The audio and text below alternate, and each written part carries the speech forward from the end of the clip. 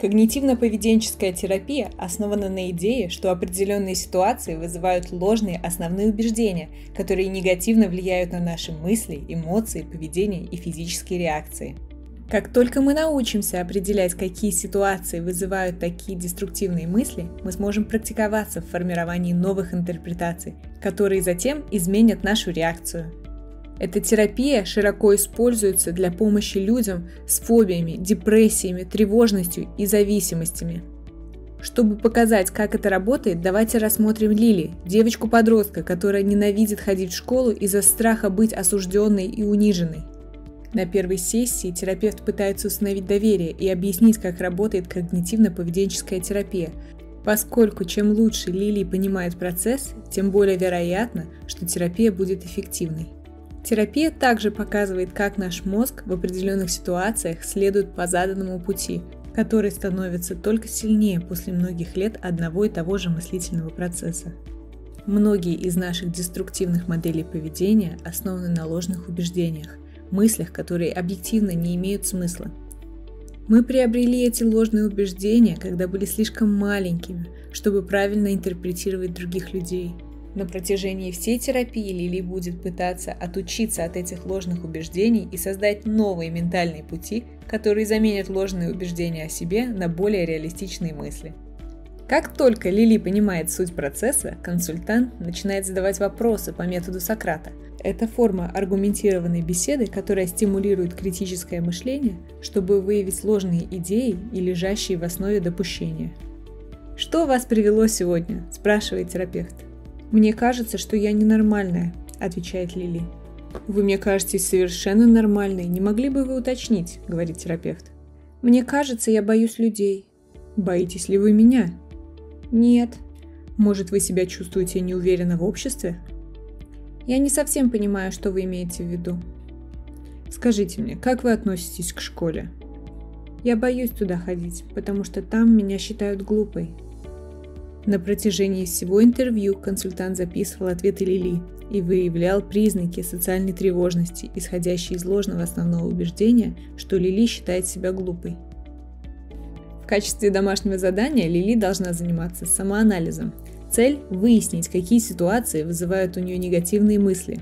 Она заведет особый дневник, в котором будет записывать все триггеры и другие наблюдения. Например, разговоры, которые она ведет сама собой, интерпретации конкретных событий или людей. В течение следующей недели Лили лучше осознает свои мысли и физические реакции, которые они вызывают. Обращая внимание на свои ощущения, она выявляет определенную закономерность, которая возникает каждый раз на уроке математики – как только учитель начинает задавать вопрос, ее сердце начинает колотиться, а ладони потеть. Она волнуется, что ей придется отвечать на вопрос, и что она ошибется и выставит себя глупо перед всем классом. На второй сессии Лили делится своими наблюдениями, и терапевт помогает ей осознать, что ее когнитивно-поведенческие модели ложны. Во-первых, ее оценки по математике отличные, поэтому она должна чувствовать себя как угодно, только не глупо. Во-вторых, она объясняет, что у одной и той же вещи всегда есть несколько интерпретаций. То, что для нее может выглядеть как глупо, для других может выглядеть просто недовольным тем, что ей приходится отвечать. Причина, по которой она боится того, что подумают люди, это форма социальной тревоги, совершенно иррациональная когнитивно-поведенческая реакция. По мере продолжения сеансов терапевт предлагает три практические стратегии – Через ведение дневника Лили записывает свои негативные убеждения и трансформирует их в позитивные, которые она затем может использовать. Благодаря конструктивному самопроговариванию она может заменить критический голос на позитивный. Также она начинает упражнение на раскрытие, то есть Лили намеренно помещает себя в ситуацию, где она становится центром внимания процессе работы они устанавливают цели, которые являются конкретными, измеряемыми, достижимыми реалистичными и привязанными к определенным срокам. Умные цели дают ей возможность контролировать свой процесс и тем самым помогают ей обрести уверенность в себе. Со временем и с практикой ее мозг строит новые нейронные пути, которые приводят к другим, более нейтральным реакциям на те же самые старые триггеры – и однажды Лили, возможно, даже понравится выступать перед классом. Ее интерпретация ситуации будет более реалистичной и более схожей с мнением других. Когнитивно-поведенческая терапия была первоначально разработана в 1964 году Аароном Темкиным Беком. Бек выдвинул гипотезу о том, что чувства людей определяются тем, как они интерпретируют ситуацию, а не самими ситуациями. О депрессии он однажды сказал, если наше мышление увязло в искаженных символических значениях, негативных рассуждениях и ошибках интерпретаций, мы становимся по сути слепыми и глухими. Уроки Школус опубликованы под общей лицензией.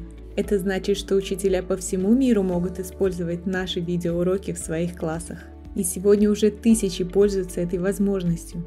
Чтобы узнать больше или скачать это видео без фоновой музыки, вы можете пройти по ссылке на наш сайт в описании под видео. Если вы хотите поддержать нашу миссию и помочь изменить образование в лучшую сторону, станьте нашим патреоном это patreon.com skolus.